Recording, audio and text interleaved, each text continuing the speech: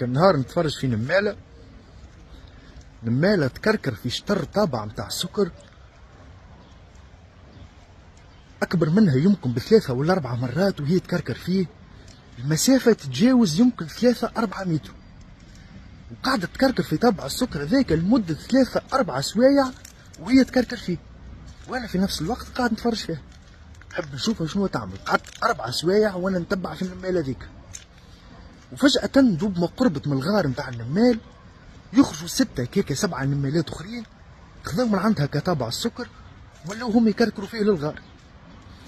والحاجة البيزار في الحكاية إنه النمالة الأخرى ما كرهتهمش نتاعي ولا أنا عندي ثلاثة متر ونكركر فيه أنتم وينكم لا قسمت معاهم وقسموا كل واحد بارتي ودخلوها الناس الكل الغار وأكيد قسموها على المجموعة الكل اللي موجودة تحت الأرض. فقعدت نخمم شوف أنا النمال عنده ألفين وإلا ثلاثة آلاف سنة وهو موجود معانا بجنبنا.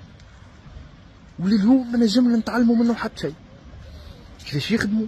كيفاش يقسموا الأرزاق ما بيناتهم؟ واحد نهار كامل واحد نتعاركوا على حكاية فارغة.